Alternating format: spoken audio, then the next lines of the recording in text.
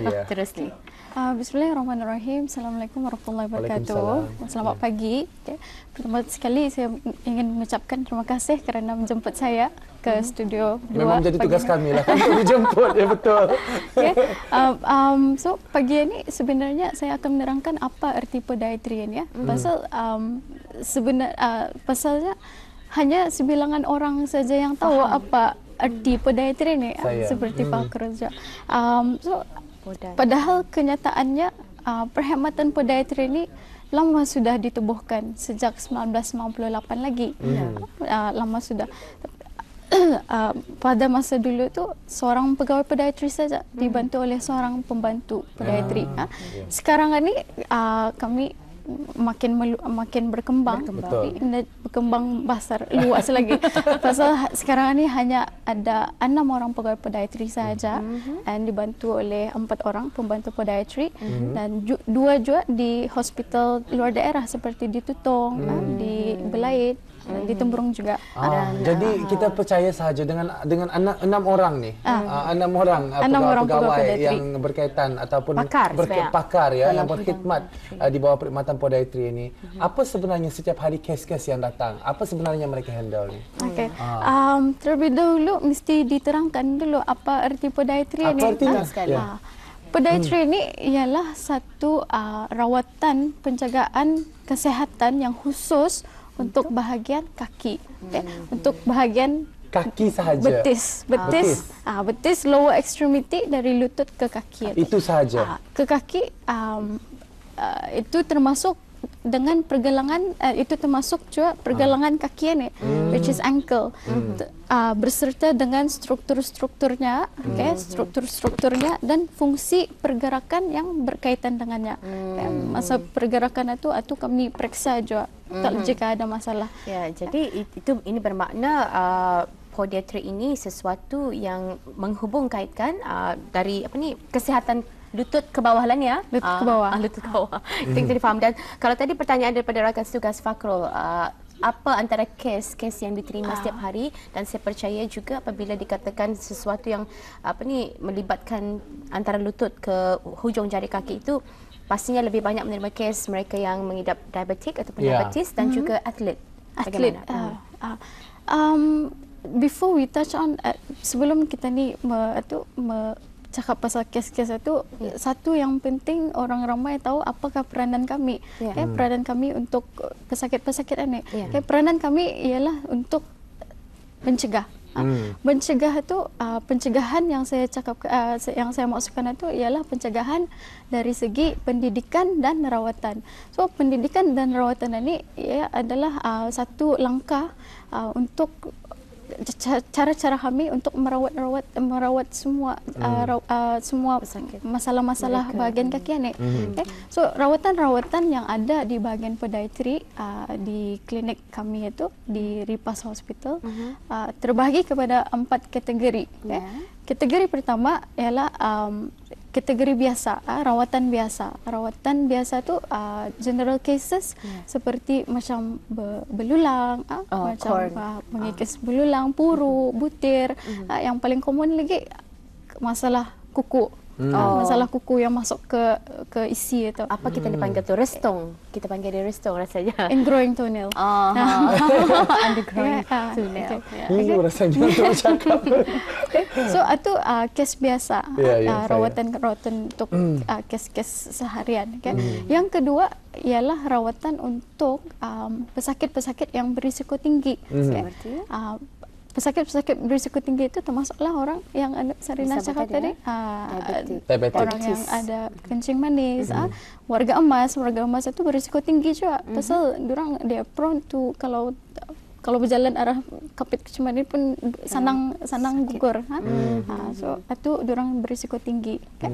Ah, yang ketiga ialah rawatan biomekanik. Okay? Rawatan biomekanik ini ya ah, lebih tertumpu kepada uh, struktur-struktur kaki ni mm-hmm. seperti lutut apa semua struktur orang lepas itu kami memeriksa fungsi uh, fungsi-fungsi pergerakannya Mhm. okay. Pasal kalau ini semestinya orang kencing manis bilang ni ha, orang bi- biomekanik ni selalunya orang uh, sports person atlet apa orang sukan ha.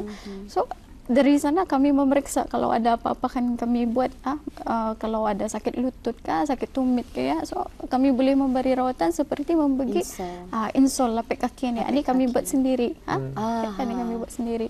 Eh, so uh, rawatan seterusnya um, yang specialized lagi rawatan khas ialah rawatan uh, rawatan khas ini uh, terbagi kepada dua. Ya. okay yang satu rawatan untuk pesakit uh, kencing manis okay? tapi kencing manis kalau masalahnya tu biasa saja ya arah berisiko tinggi saja tapi yang ini specialized ya uh, tertumpu kepada pesakit yang ada masalah luka-luka di kaki Kecederaan Ah, maksudnya. kecederaan ah. pasal dari sana ah, kami punya peranan ialah memberi rawatan seperti kalau pesakit itu uh, kencing manis uh, pesakit kencing manis ah uh, dorang datang ke klinik podiatri. So yang kami perlu buat ialah memberi pendidikan awal. Macam mana membagi uh, nasihat-nasihat uh, penjagaan kaki yang betul Ya. pemotongan kuku kaki yang betul okay?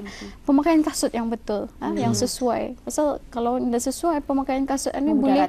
Ah, boleh memudaratkan, boleh apa sakit itu mempunyai belulang, okay?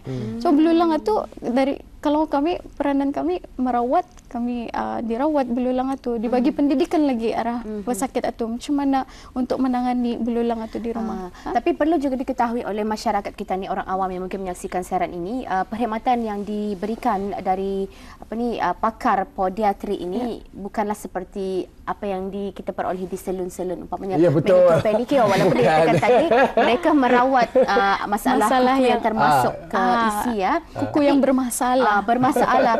Tapi untuk mendapatkan sebelum kita ni kena refer ataupun dirujuk ke bahagian podiatri, saya Ah. percaya apa yang perlu individu tersebut lakukan ialah untuk mendapatkan rawatan sebagai pesakit luar dulu. Ah. Ah. Jika masalah tu difikirkan uh, di perlu dirujuk barulah dirujuk. Kalau tidak hanya mungkin mendapat rawatan di bahagian pesakit luar saja. Betul. Aha. Kita tahu ada pelbagai komplikasi ni yang yang uh, kita sel- selalu saya mendengarkan uh, dan juga kita juga ada mempunyai gambar rajah-gambar rajah yang uh, ingin kita tunjukkan tetapi ini agak sensitif juga uh, harus bersedia untuk mengikuti melihat gambar rajah gambar rajah ini.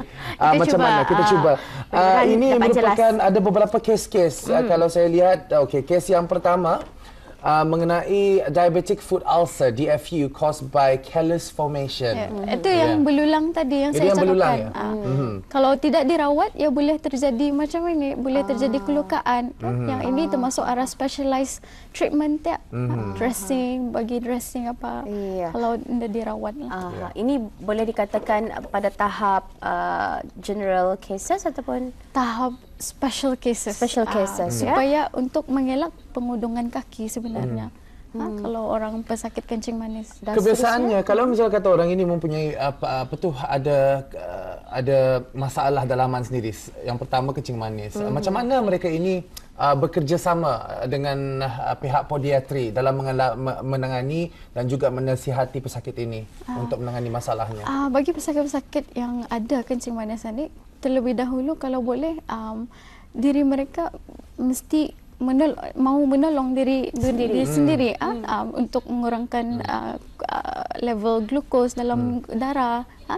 dan s- kemudian ah, peranan kami ialah memberi pendidikan awal. Sebelum yang ini terjadi kami bagi pendidikan awal seperti pendidikan ah, penjagaan kaki yang betul, ah, ah, pemotongan kaki, ah, pemotongan kuku kaki itu, ah, um, ah, pemakaian kasut lah, ah, pemakaian kasut itu yang penting. Jadi uh, kes uh, necrotic foot dan bercakap kita tentang food dan juga gangrene dan juga tentang permasalahan-permasalahan diabetes dan sebagainya. Cons, Kenapa agaknya yang terjadi ini? Selalu di bahagian uh, kaki. selalu di bahagian kaki?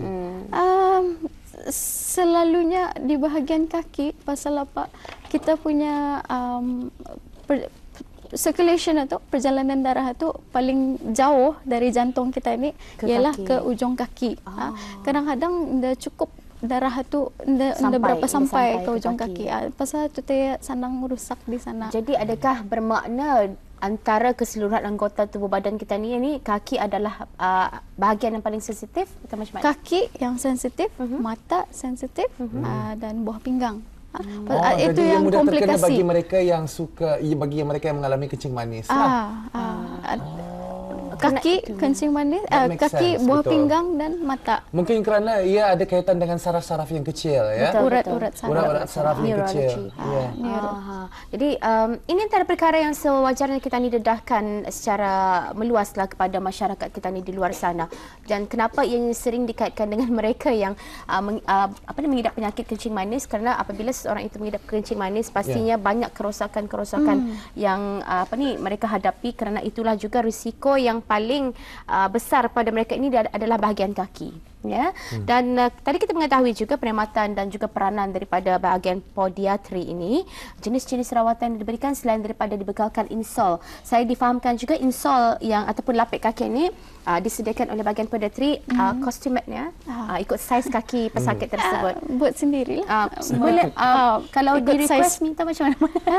Untuk masalah orang yang ada masalah bagian kaki itulah saja. Selalunya kalau sakit tumit apa hmm. itu yang kami buat. Ada jual-jual ni kan kalau ada that, that's why we Ah. can give uh, pendidikan pendidikan awal macam Yeah. macam mana lapik-lapik kaki yang, Yang mana sesuai, untuk, untuk pesakit jenis kaki. Oh, untuk orang ramai. Baiklah, Ah, bagi mereka yang tidak mempunyai masalah sakit kaki. Mhm. Ah, bagi mereka yang tidak mempunyai masalah sakit kaki tetapi agaknya sekarang ini maaflah ya kalau dalam fashion terlalu ah, meng- ah, terlalu Hmm. Oh, mencurah-curah. Ah, fashion terlalu mencurah-curah. Dikaitkan Dan dengan kaum apabila wanita memakai lagi. biasanya Heels. lah kaum hawa memakai baju ya ah, apa tu kasut Heels, yang ah, high kasut heel. tinggi. Kasut tinggi. 6 inci, 10 Kadang-kadang inci yang pun boleh. ah, setajam-tajamnya orang mun- mundi junya tambus jua Adakah itu merupakan satu uh, faktor yang berisiko Ah. bagi kaki dan juga uh, badan?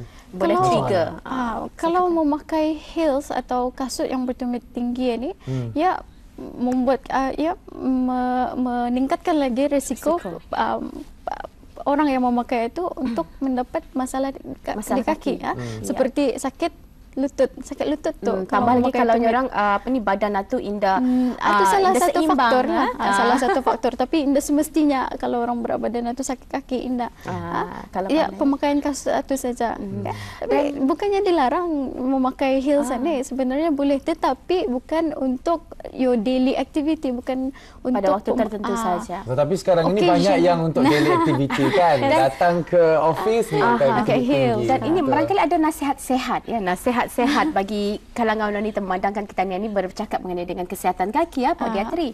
Uh, kalau kita ni memakai heels dalam seharian tu berapa waktu yang sesuai dan hanya disarankan? Ah, Ada lagi ni kan kita diskaun, betul.